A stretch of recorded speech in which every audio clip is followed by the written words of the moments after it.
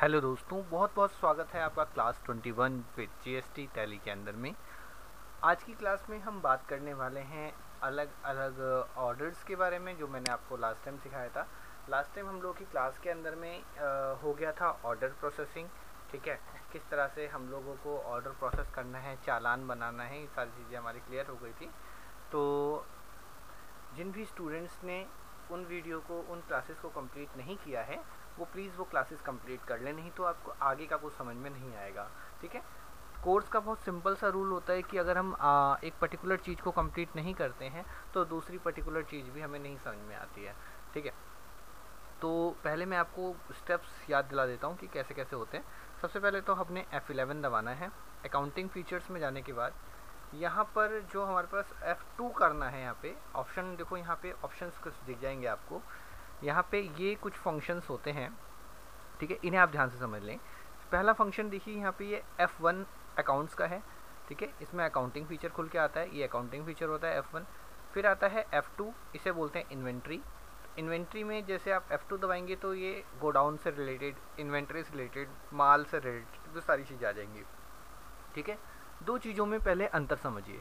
एक है अकाउंट्स दूसरा है इन्वेंट्री अकाउंट्स में हम क्या करते हैं हम लोग लेन देन करते हैं ठीक है? किस पार्टी से कितना लेना है कितना नहीं लेना है ये सब अकाउंट्स का काम होता है। इन्वेंट्री के अंदर में हम अपना स्टॉक मेंटेन करते हैं अपना माल मेंटेन करते हैं बेसिकली कच्चा माल क्या है तैयार माल क्या है कितने क्वांटिटी में माल हमारे पास पड़ा हुआ है हमने किस डेट को किस आ, घर से माल ख़रीदा था। घर का मतलब होता है आ, जैसे आप किस पार्टी से माल ख़रीदते हैं ठीक है?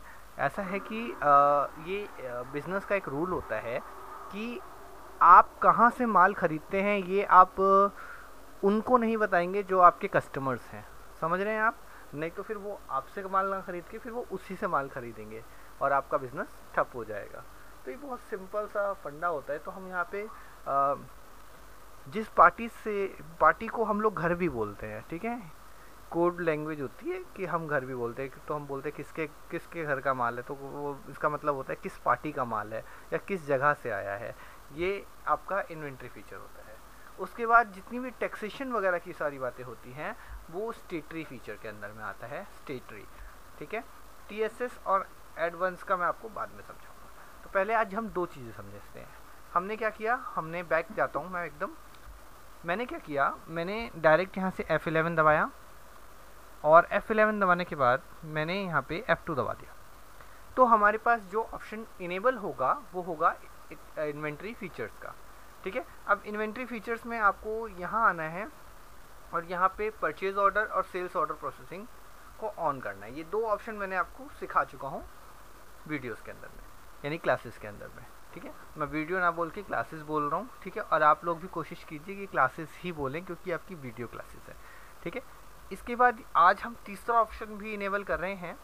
इस ऑप्शन का नाम है इनेबल जॉब ऑर्डर प्रोसेसिंग इसके अंदर में क्या खास है? इसमें हम मल्टीपल गोडाउन को एक्सेस दे सकते हैं ठीक है?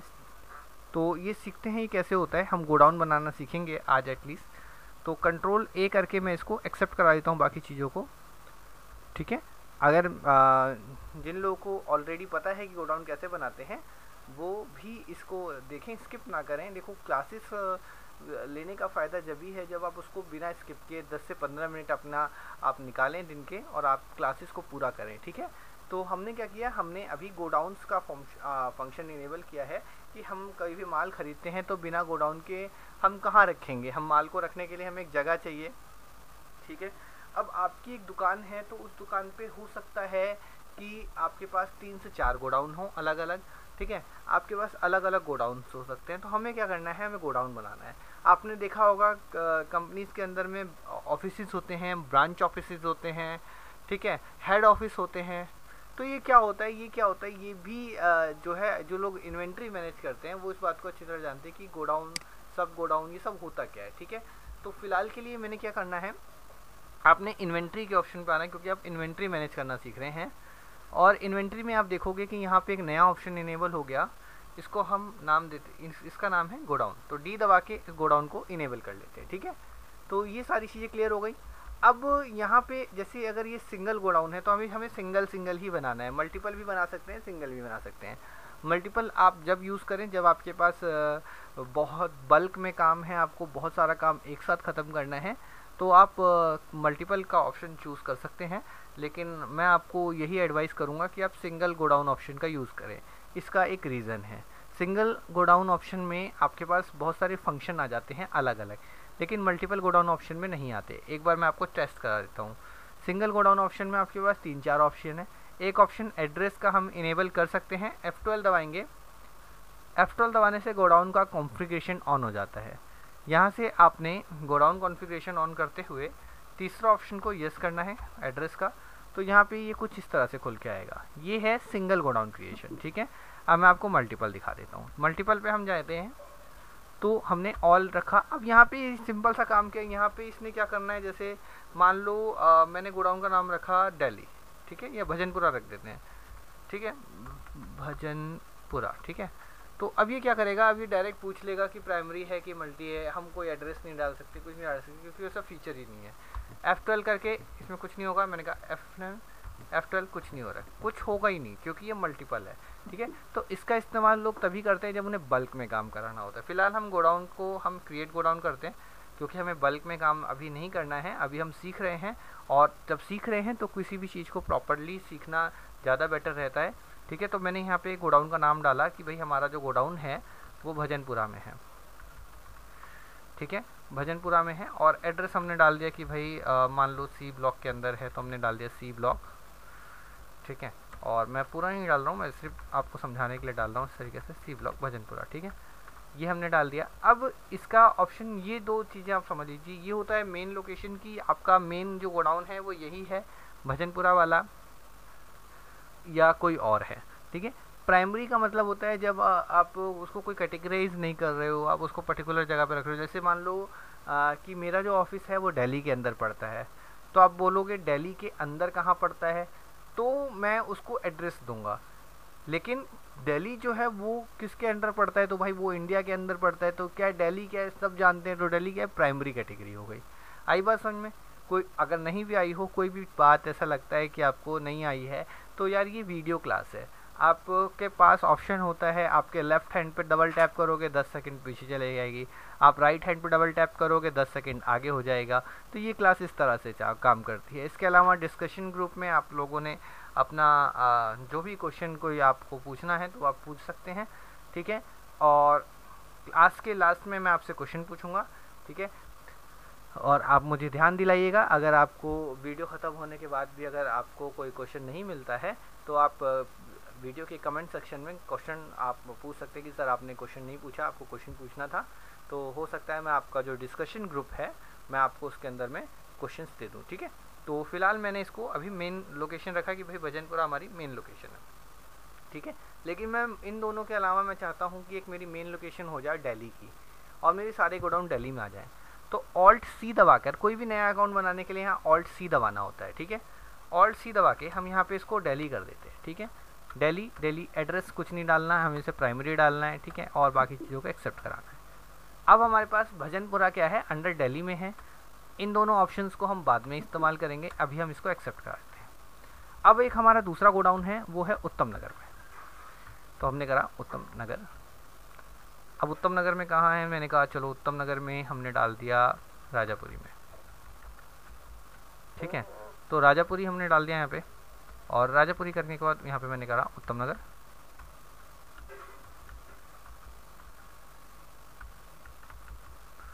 और इसको मैंने कर दिया दिल्ली ठीक है? क्योंकि ये दिल्ली में है तो इसकी जो प्राइमरी गोडाउन लोकेशन जैसे हमने भजनपुरा वाले में दिल्ली सेलेक्ट की थी, वैसे ही आपने यहाँ पे दिल्ली सेलेक्ट करना है। और इसको करना है एक्सेप्ट अब अगर आप ये देखना चाहते हैं कि हमारे पास कितने गोडाउन हैं और कहाँ कहाँ हैं तो आप लोग यहाँ डिस्प्ले में जाके इन गोडाउंस को चेक कर सकते हैं, ठीक है? जिसमें भजनपुरा, दिल्ली, उत्तम नगर। लेकिन हमने क्या बनाया? हमने हमने दिल्ली और उत्तम नगर दो ही लोकेशंस को लेना है। हमने बाकी लोकेशंस को नहीं छेड़ना है। तो हम क्या करेंगे? हम यहाँ पे आपको रिपोर्ट्स में आपको चल के दिखा देते हैं कि ये किस तरह से देखते हैं। डिस्प्ले डिस्प्ले में जाके अब आपके पास आ, कुछ नए ऑप्शंस खुल जाएँगे। इनके बारे में हम धीरे धीरे डिस्कस करेंगे जैसे जैसे क्लास आगे बढ़ेगी।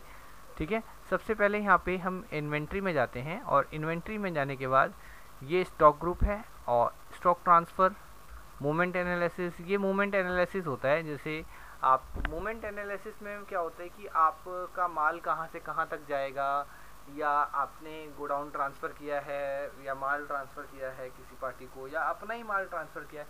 मान लो मैं कह रहा हूँ भजनपुरा वाले से, गोडाउन से मुझे उत्तम नगर वाले गोडाउन में डालना है। तो ये मोमेंट एनालिसिस में क्या होता है, हम मोमेंट एनालिसिस करते हैं, देखते हैं कि यार कौन सा गोडाउन किसमें लोकेशन में जा, गया है। अभी हमने कोई एंट्री नहीं करी है। इसलिए जस्ट एज इट इज़ है। ठीक है? तो यहाँ तक आप लोगों को समझ में आ रहा होगा कि क्या चीज़ है ठीक है? स्टॉक आइटम में स्टॉक आइटम देख सकते हैं आइटम क्या है हमारे पास क्या नहीं है स्टेटमेंट ऑफ़ अकाउंट्स में ये सारी चीज़ें जो हैं ये समझने वाली हैं। कभी भी जैसे आपको थोड़ा टाइम लगता है तो आप बैठे करो और उसको देखा करो कि हाँ सर ये सर ने ऐसे बताया तो ये, ये किस तरीके से काम करेगा। अभी मैं क्या कर रहा हूँ अभी मैं वाउचर में जा रहा हूँ और वाउचर में जाके मैंने करा मैंने यहाँ पे आ, बटन दबाया कंट्रोल F2 तो मेरा सेल्स ऑर्डर आ गया। और मैं इसे कंट्रोल F4 कौन सा ऑप्शन था हमारा उसके लिए? परचेज ऑर्डर के लिए क्या था? ऑल्ट के साथ ऑल्ट के साथ था ना? ऑल्ट के साथ F4 ठीक है? ऑल्ट F4 ऑल्ट F2 करेंगे तो ये पीरियड चेंज का ऑप्शन आया जैसे मान लीजिए आपने फिनेंशियल ईयर चेंज करना है तो उसके लिए ऑप्शन आता है, ठीक है? ये फिनेंशियल ईयर क्या होता है, कैसे काम करता है, ये मैंने वीडियो के स्टार्टिंग में यानी कि क्लास फ़र्स्ट में बताया था। तो अगर आपने क्लास फ़र्स्ट आप थोड़ा सा भूल रहे हो तो आप उसे रिवीज कर लो। ये मैंने यहाँ तक कर दिया। अब यहाँ पे ये पार्टी नेम है। पार्टी नेम मैंने कुछ भी डाल देना है। चलो मैंने डाल दिया गुप्ता एंड सन्स ठीक है? तो मैंने यहाँ पे एक, इनका लेजर बना लिया क्योंकि आप लोगों को मालूम ही है कंप्यूटर फॉर्मेट हो रखा है सब कुछ तो सारी चीज़ें दोबारा से करनी पड़ रही हैं। तो गुप्ता एंड सन्स मैंने कर लिया इसको। अब क्योंकि हम इससे माल ख़रीद रहे हैं तो ये हमारी जो है लाइबिलिटी है करंट क्रेडिटर्स है। हम इसको एक्सेप्ट करा देते हैं। और यहाँ पर ये लेजर जी, यहाँ पे जैसे हम अभी तक करते आ रहे थे क्लासेस के अंदर में तो यहाँ पे भी हम इसको पी ओ करके डालेंगे 2020 ज़ीरो वन, ठीक है? परचेज लेज़र में हमेशा परचेज अकाउंट आता है, ये बात आपको नहीं बतानी पड़े, ठीक है? ये आपने ध्यान रखना है, और परचेज अकाउंट का अंडर हमेशा परचेज अकाउंट है, शाबाश। तो ये क्लियर हो गया। अब हम क्या ख़रीद रहे हैं या क्या बेच रहे हैं, ठीक है? तो मान लो मैंने कहा, एक हम एल जी ले रहे हैं L G T V primary location है, यूनिट में इसको रख देता हूँ पीसेस क्योंकि हम पीसेस में टीवी खरीदते हैं, किलो में नहीं खरीदते हैं, या किलो में भी खरीदते हैं। ठीक है? पीसेस गोडाउन क्या है? अब यहाँ पे ये जो ऑप्शन आया ना, गोडाउन मेंटेन करने का, ये आपके लिए नया है। ठीक है? तो मान लो मैंने कहा कि मुझे इसको डायरेक्ट भजनपुरा वाले गोडाउन में रखवाना है। ठीक है? मैंने कहा कि 10 पीस मुझे भजनपुरा गोडाउन में, ये हम ऑर्डर दे रहे हैं अभी। ठीक है? हमने कहा कि सत्रह हज़ार पाँच सौ का एक टीवी है और दस टीवी यानी कि एक लाख पचहत्तर हज़ार के दस टीवी हो गए। ठीक है? अभी हम अभी जीएसटी का काम नहीं सीख रहे हैं। वो आने वाले तीन चार क्लासेस में हम सीखेंगे। पहले ये गोडाउन वाला समझ, मैंने सोचा कि आपको क्लियर करा दूँ। तो ये परचेज ऑर्डर हो गया। अब इसका हम बनाते हैं रिसिप्ट नोट ठीक है? इसका हम बनाते हैं रिसिप्ट नोट तो नोटिंग बनाने के लिए हमने ऑप्शन इनेबल करने थे, जैसा कि हमने पिछली क्लास में किए थे एफ़ इलेवन और F11 करने के बाद यहाँ पे आपको ऑप्शन इनेबल करना है F2 और यहाँ पे आपको ट्रैकिंग ऑप्शंस को इनेबल करना पड़ेगा, इन वाले ऑप्शंस को। यस करना है यस किया। और अभी आपने ऑल्ट F9 दबा के रिसिप्ट नोट यानी कि अब आप इसको चालान बना रहे हैं। यानी कि आपको इसको कंफर्म करना है ऑर्डर को कि हाँ भाई यही ऑर्डर है। और जैसा कि मैंने आपको क्लास 19 में भी 20 में भी आपको बताया था कि रेफरेंस नंबर या रिसिप्ट नोट नंबर अलग अलग हो सकता है। डिलीवरी नंबर अलग होता है रिसिप्ट नंबर अलग होता है ऑर्डर का नंबर अलग होता है। तो ये अपने हिसाब से, मैं तो इसको रिसिप्ट नोट नंबर के लिए आरएन कर रहा हूँ, ठीक है? और बाकी जब भी आप किसी कंपनी में काम करेंगे तो आपको मालूम चल जाएगा कि हाँ उसमें क्या रिसिप्ट नोट नंबर है। तो हमने कहा गुप्ता एंड सन्स वाला और ये कह रहे हैं कि भाई इसका ऑर्डर है तो मैंने कहा हाँ ऑर्डर को ही तो कंफर्म कराना है। तो ऑर्डर सेलेक्ट किया और सिलेक्ट करने के बाद हमने इसको परचेज़ अपने आप पूरी डिटेल आ गई, मैंने इसको एक्सेप्ट करा दिया। तो ये हो गया चालान, यानी कि हमारे पास माल पहुँच चुका है रिसिप्ट हो चुका है, ठीक है? अब हम इसका, हमें बिल मिलता है, ठीक है? कभी भी ध्यान रखिएगा, अब अगर आप माल बाहर से मंगाते हैं तो बिल जो है, वो हमेशा माल पहले आता है रिसिप्ट आता है, उसके बाद कई बार क्या होता है कि रिसिप्ट के साथ बिल आता है और कई बार ऐसा होता है कि माल पहुँचने के एक दिन या दो दिन बाद बिल जनरेट होकर आता है कि पार्टी जो है माल जो बिल होता है, वो हमेशा बाद में सेंड करती है। पहले ऑर्डर कंफर्मेशन होता है, यही रूल होता है, ठीक है? तो अब हमारे पास परचेज़ का ऑप्शन आया तो हमने कहा कि भाई हमारा जो परचेज़ का लिस्ट है तो हमने इसको पी रख देना है। परचेज़ के लिए मैं इसको केवल पी रख रहा हूँ, ठीक है? अपने यादाश्त के लिए कि हाँ भाई मेरा परचेज़ का बिल है ये, ठीक है? तो मैंने इसको इस तरह से किया। तो यहाँ पे अब यहाँ पे जादू देखना, यहाँ पे जैसे गुप्ता इंसन सेलेक्ट करेंगे तो ये देखो यहाँ पे ये मांग रहा है रिसिप्ट नोट नंबर इसको purchase order number Gupta and sons इसको हमने एज इट इज़ एक्सेप्ट किया तो ये बोल रहे कि ये बिल आया है तो ये रिसिप्ट नोट नंबर है, ये ये माल आया है तो मैंने कहा हाँ भाई, ये ये आया है, ठीक है माल। अगर कभी भी कोई कमी पेशी होती है तो हम यहीं से यानी बिल से ही आप चेंज कर सकते हैं, ठीक है? और उसी के अकॉर्डिंग आपको पेमेंट करनी होती है। तो यहाँ पे हमने इसको समझ लिया है, हमने इसको एक्सेप्ट करा दिया। ठीक है? अब हमारे पास माल आ चुका है, हमने अभी पेमेंट नहीं करी है, ये बात आपको ध्यान रखनी है, ठीक है? अब मैं आपको दिखा रहा हूँ उसका मूवमेंट एनालिसिस कि किस तरह से हमारे पास हमने, क्योंकि गोडाउन भजनपुरा लिया था तो हम देखते हैं कि भजनपुरा में भाई हमारे पास माल आया कि नहीं आया तो डिस्प्ले में जाएँगे और यहाँ से स्टेटमेंट ऑफ़ इन्वेंट्री में जाएँगे। और यहाँ पे देखिए एक अलग ऑप्शन इनेबल हो गया, जो पहले नहीं हुआ था, ठीक है? गोडाउन का। तो हमने जब गोडाउन को सिलेक्ट किया तो हमें सिलेक्ट हमें अब ये गोडाउन का ऑप्शन इसीलिए मिलता है कि मान लो कि अगर जो ओनर है बिज़नेस का वो कहता है कि आ, भाई मुझे बताओ कि भजनपुरा वाले गोडाउन में क्या क्या माल पड़ा हुआ है? तो आप सीधा आप क्या करेंगे आप डायरेक्ट यहाँ से डिस्प्ले में जाएँगे। डिस्प्ले में जाने के बाद आप स्टेटमेंट ऑफ़ इन्वेंट्री में जाएँगे और यहाँ से आपको डायरेक्ट गोडाउन का ऑप्शन मिल जाता है। यहाँ पे आप भजनपुरा सेलेक्ट करेंगे तो आपको पता लग जाएगा L G T L G के भाई दस पीस पड़े हुए हैं। आपने इस तारीख में इतने रुपए का पीस खरीदा तो सारी डिटेल आ गई आपके पास।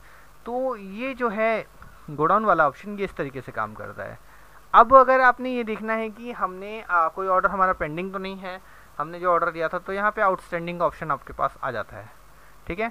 आउटस्टैंडिंग में मैंने ऑल ऑर्डर्स किया तो हमारे पास कोई ऑर्डर अभी ड्यू नहीं है। देखो यहाँ पे साफ़ साफ़ लिखा हुआ आ रहा है ड्यू ओनली यानी कि जो अभी तक आया नहीं है ड्यू है ऑर्डर क्योंकि हमने तो माल भी ले लिया और उसका परचेज बिल भी बना दिया तो वो सारा आ गया। लेकिन आप अगर मालिक ये बोलता है कि भाई ये बताओ कि आपने आ, किस पार्टी को हमने पेमेंट करी है और किसको नहीं करी तो ये भी आप इसी में देख सकते हैं। यहाँ पे परचेज बिल पेंडिंग का ऑप्शन आपके पास होता है। ठीक है? यहाँ पे देखो यहाँ पे बिल यहाँ पे बिल पेंडिंग है। आई एम सॉरी सॉरी थोड़ा सा बताने भूल गया। बिल पेंडिंग में क्या होता है? जब तक बिल नहीं आता है तो वो पेंडिंग में दिखाता है। ठीक है? अभी हमने ये देखना है कि हमने किसको पेमेंट करनी है और किसको नहीं करनी, ठीक है? तो उसके लिए आप अकाउंट्स बुक में जाएँगे लेजर्स में जाएँगे और लेजर्स में जाने के जो भी लेजर आपको लगता है कि हाँ गुप्ता इंसन्स की हमने कितनी पेमेंट करी है तो यहाँ पे उसका डिटेल आ जाएगा कि भाई आपने इससे ये टीवी खरीदा है, ये इसका बिल पड़ा, आपने पेमेंट करानी है। तो अब हमने कहा कि भाई हमें पेमेंट करनी है तो हमने क्या करना है? हमने वाउचर ओपन करना है पेमेंट ऑप्शन पर जाना है, यानी कि एफ़ ठीक है? तो F5 ऑप्शन के लिए मैं डायरेक्ट यहाँ जा रहा हूँ क्योंकि मेरे पास दूसरे शॉर्टकट्स हैं।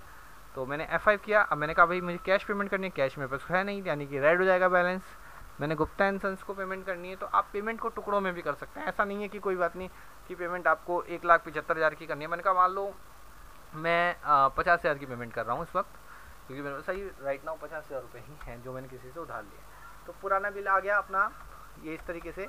और ये एक लाख पच्चीस हज़ार रुपये बच गए। अब मैं आपको ये दिखाता हूँ कि हम अगर हमें ये देखना है कि हमारे पास कितना, किसका पेंडिंग है तो हम ऐसे देख सकते हैं। ठीक है? अब ये किस तरह से दिखाएगा डिस्प्ले तो मैं इसको डायरेक्ट भी जा सकता हूँ। डिस्प्ले में गए हम लोग डी डिस्प्ले में जाने के बाद हमने इसको दबाया।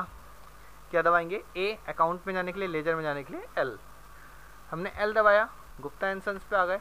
तो यहाँ पे दिखा देगा कि भाई एक एक बिल हमने पेमेंट करी है। परचेज हमने किया एक लाख पचहत्तर हज़ार का। केवल हमने एक पेमेंट करी, पचास हज़ार की। तो कितना पेमेंट बाकी है? तो जी, एक लाख पच्चीस हज़ार रुपये बाकी है। तो ये इस तरीके से आपका यहाँ तक आ गया। ठीक है? आई होप आपको गोडाउन का समझ में आया होगा। कल मैं आपको स्टॉक क्वारीज के बारे में बताऊँगा किस तरीके से स्टॉक क्वारीज वगैरह होती है। फ़िलहाल इस वीडियो को कम से कम दो बार देखिए। ऑप्शंस को नोट कीजिए। ठीक है? और एक जो सवाल मैंने आपसे बोला था कि मैं लास्ट में पूछूँगा तो मेरा सवाल जो है, वो आपको, उसका आंसर आपको ग्रुप के अंदर में देना है। ठीक है? तो मेरा सवाल ये है कि मैंने गोडाउन का ऑप्शन कैसे इनेबल किया था? ठीक है? उसके स्टेप्स आपको मुझे बताने हैं पर्सनल मैसेज में। ठीक है? जिनके मैसेज आएँगे मेरे पास पर्सनली उन्हीं की अटेंडेंस मार्क होगी। ठीक है? ओके आप तो अपना बहुत सारा ख्याल रखिए। Have a nice time good day